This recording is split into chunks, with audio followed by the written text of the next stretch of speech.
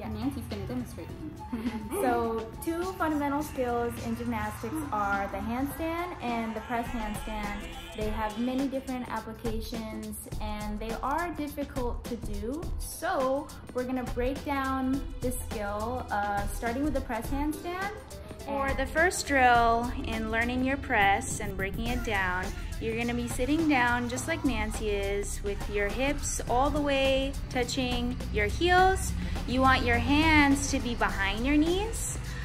The wrong way or maybe a way to also make this drill easier is to put your hands in front of your knees. So Nancy, can you show that?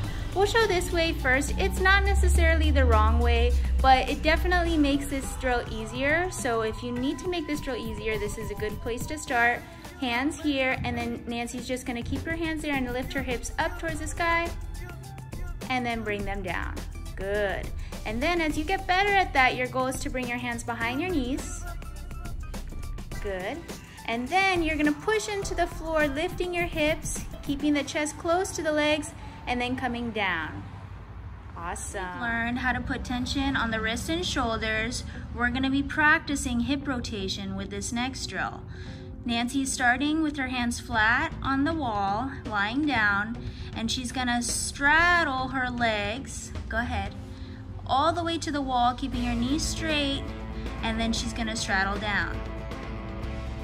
Good, try that one more time with your knees straighter, please straddling from the floor up to the wall, and then straddling down. And this mimics the exact same hip rotation that you'll do when your body is inverted into a handstand, into a press handstand. Hi everybody, so for our next press drill, this is more for team, but it is still a safe drill and everybody is welcome to try it. You're gonna need a rope. You can get creative. If you don't have a rope like this, you can even use a shoelace. Nancy, if you have a band, bands work great as well. So whatever you have, um, I'm gonna be demonstrating with a rope and how I like to tie it is I make, I kind of fold my rope in half and then I loop my rope through and I start pulling it until I have about enough space, um, maybe a little bit more narrow than my shoulders. So chest width apart and then with the extra rope, I wrap around and I make a knot. And then from there, I do that once more. And then if you feel like the rope is too small, you can widen your circle. Find what works for you.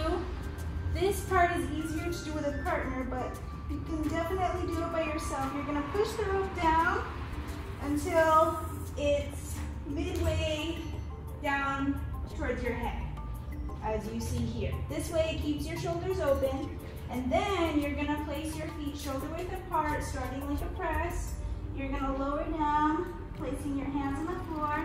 And then you're just gonna lift your hips up, try to get your toes up. And then you go back to stand. That's one. You go into your next one. 10 times. So Nancy's gonna demonstrate now with a band. If you don't have a rope, you can use a band or you can use a ribbon. You can use a shoelace, as Coach Sarah said. Make sure that you push the band or the rope, whatever you're using, push it down and behind your head.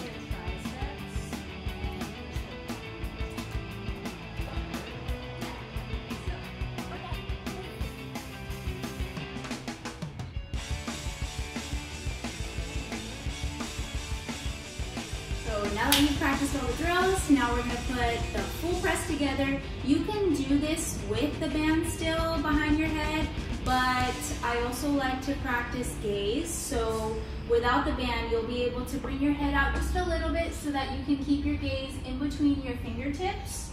So when I put my hands down, I put my gaze right here. And then I'm gonna lean into the wall. If you have a door, this will work here too. And then you want to keep your feet close to your body. You don't want them to go out there because then you're going to fall. So keep your feet close, straddle up. And then straddle down. Okay, so Nancy's gonna demonstrate the full press so you guys can see what this skill looks.